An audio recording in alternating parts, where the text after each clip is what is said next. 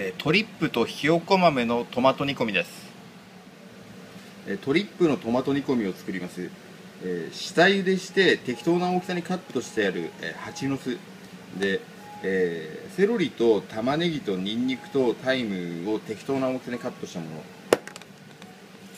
あとはトマトソース。で、えひよこ豆、えーガルバンゾーという乾燥の豆を、えー半日ぐらい水につけて戻してあるものでこの戻し汁も使いますので、えー大切に取っておいてください。あとは白ワインと、えーペルノーというお酒とあとは、えー鶏のブイヨンを使います。厚手の鍋をよく強火で熱したところに適量の油を加えます。そこに先ほどカットした、えー蜂の巣を加えていきます。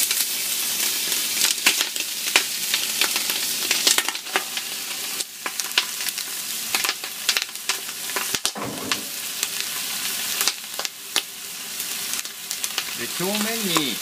焼き色がしっかりつくところまで、えー蜂の巣だけで焼き色をつけていきます、えーしっかり焼き色がついたら塩をして、えー水に戻してあるひよこ豆を加えます。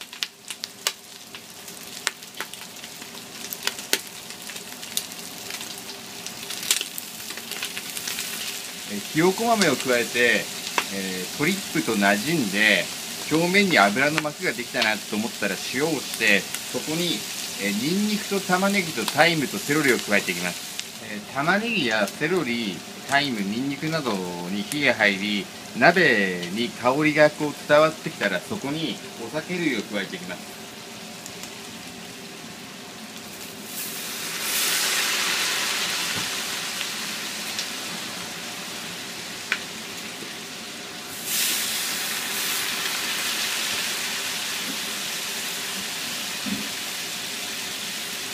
でここで鍋の下に、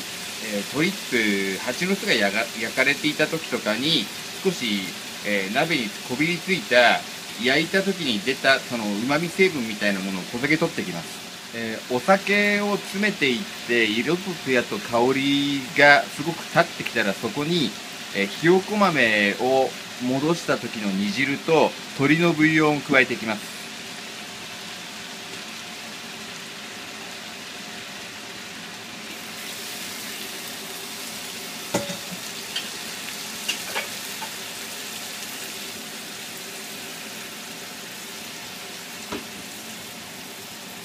ここでしばらく蓋をして煮込みます、えー強火で詰めていって、えー鶏の重のうまさや、えー豆のうまさとかがしっかりトリップの方に、えー染み込んでいった頃にトマトソースを加えて軽く煮込みます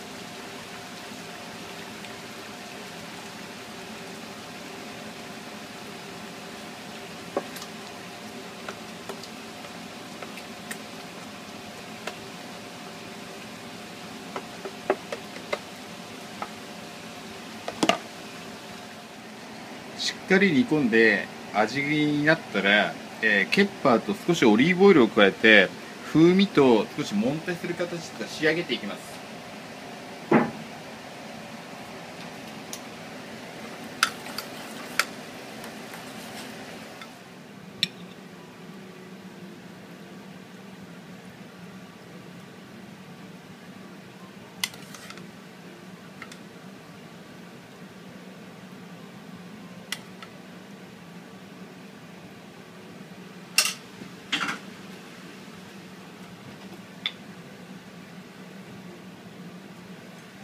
少し最後にパルメザンのパウダーか何かを振ればそれで、えー